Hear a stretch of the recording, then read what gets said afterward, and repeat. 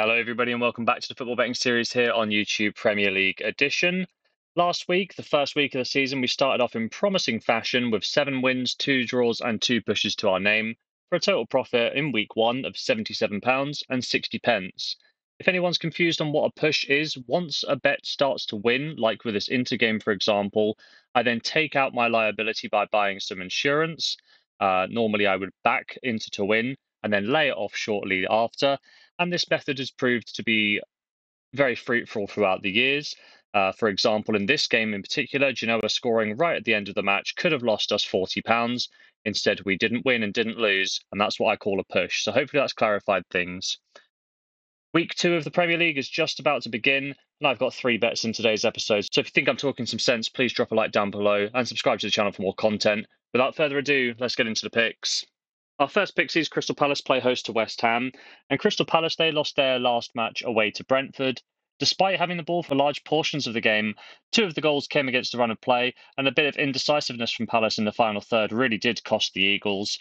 Although Palace may have won a single point from this match if it wasn't for a somewhat controversial decision to disallow Eze's free kick for the opening goal of the game. This result ended a six game unbeaten streak for Crystal Palace at the end of last season, a record which stands since early April following their 4 2 loss to Manchester City. They play a West Ham side who also suffered defeat in their opener against Aston Villa. They fell behind after just four minutes thanks to Onana's powerful header off a corner. Paqueta equalised from the penalty spot, but Villa went on to win courtesy of Duran's 79th minute strike. West Ham did have a tough pre-season, winning just one of their five pre-season games, and it's hard to know what we're going to get from West Ham this season and they're going to be integrating the new signings of Nick Füllkrug, Max Kilman, and Summerville from Leeds. It might take a minute or two for them to find their feet and get familiar with one another, but I think West Ham have the core of a decent side, which could finish mid table or even push for those European spots. When we look at the head to head records, these sides played each other in the summer. Crystal Palace ran out 3 1 winners in that one. And looking further back, Palace are unbeaten in each of the last four competitive encounters as well. There's fair value here in playing West Ham for this one. However, I'm feeling goals a little bit more. When we look at Crystal Palace, they saw over two and a half goals in each of their final three Premier League games last season, as well as the opening game of this season. Last year, Crystal Palace saw over two and a half goals in 63% of their home games and an average of 3.3 goals per game in those matches. The away side West Ham, they saw over two and a half goals in their final five Premier League games last year, as well as the opener for this season.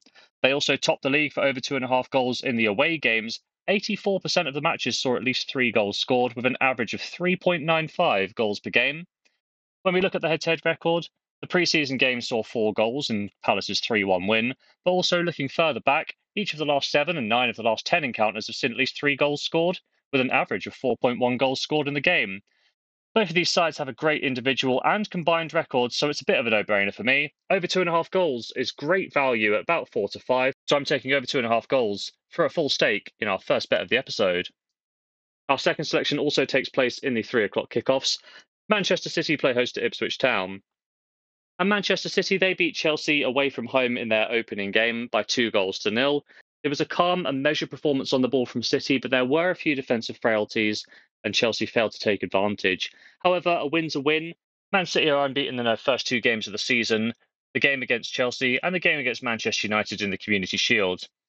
Ipswich Town returns to Premier League for the first time in 22 long years and were handed a very difficult game against Liverpool in their opener. Despite holding the Reds off in the first half, as the game stretched on, Liverpool made their class show. Mo Salah scoring and assisting to make the difference in a 2 0 win for the Scousers. Ipswich Town have been struggling for goals recently, which is a bit of a surprise when we consider that the Tractor Boys were the top scorers in last year's championship season. So far this summer, McKenna's side have only scored only one goal against Shakhtar Donetsk, Hoffenheim, Fortuna, and Nice, and obviously failed to score against Liverpool in the opener. This will be an issue as Manchester City are no stranger to racking up the goals themselves. When we look at the head to head record, well, these sides have not faced off since 2001. Ipswich Town picked up a 2 1 win, which saw Man City relegated at the end of the season, but I don't think that has too much bearing on the game in 2024. Despite my best wishes for this game as an Ipswich Town fan, I honestly can't see anything other than a Man City win at the Etihad. With Town struggling to find the back of the net in pre season and against Liverpool too, I'm expecting Man City to win by some margin. Manchester City are very short in the outright winning market, so I'm going to be taking them at minus one and a half on the Asian handicap line, which means in order to cash this bet, we need Manchester City to win by two clear goals. One goal win for City, a draw, or a defeat will lose our full stake of £40, but I do feel confident in this one. Man City minus one and a half on the Asian handicap for a full stake. Our third selection sees Bournemouth play host to Newcastle. And Chris Wood handed Forest the lead in their opening game of the season at home to Bournemouth before Semenyo's 86th minute equaliser saw both sides share the points. Form wise, Bournemouth lost each of their last three games at the end of last season once they had secured safety. And it was this poor run of form which carried in over to the pre season, Bournemouth picking up draws against Wrexham and Arsenal before going on to pick up back to back wins against Spanish sides Vallecano and Girona. The away side Newcastle, well, their fans were fearing the worst when Fabian Schär was sent off for a head to head contact against Southampton in their opening game. Despite going down to 10 men early on, the Magpies actually took the lead through Joelinton just ahead of the half time interval. In the second half, Newcastle withstood a lot of pressure to hold out for a massive three points to get their campaign off to the right start. Newcastle ended the season with a mixed bag of form, with one win, one draw, and one loss in their final three games. And it could be argued that this stumble at a costly time is what cost them a higher place finish, the Magpies ending the season in seventh.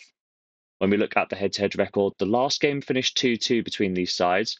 Newcastle managed to salvage a point thanks to Matt Ritchie's 92nd minute penalty. But it's Bournemouth who are unbeaten against Newcastle across the last two seasons or the last four league games with Newcastle's only saving grace in this period being a 1 0 win in the EFL Cup. Despite a good record for Bournemouth, I think that Newcastle will still consider themselves to be the stronger side here.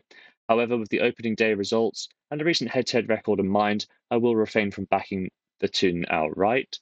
Dan Burn's suspension also means that there will be some changes to the backline to be made, which could cause some issues. With this in mind, I'll opt to lay Bournemouth here or double chance Newcastle, depending on your bookmaker, just for a bit of extra safety here and I'll be doing that for a full stake in bet number three. So there we have it. Three selections in today's episode, starting off with the 3 p.m. kickoffs. Crystal Palace and West Ham over two and a half goals, odds of 1.82, a £40 stake to return 32.80.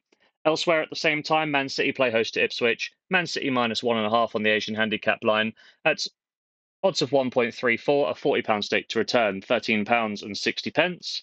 And on the Sunday, Bournemouth Newcastle, we're going to be laying the home sides at odds of around 1 to 2, a £40 stake to return 19 in kind. So across the weekend, we're going to be risking £120 to hopefully pick up as much as £65 and 40 pence. Will we do so? Well, there's only one way to find out, and that's to tune into the next episode. But if you have made it to this point in the episode, please drop a like down below and subscribe to the channel for more content. And as always, have yourself a lovely day.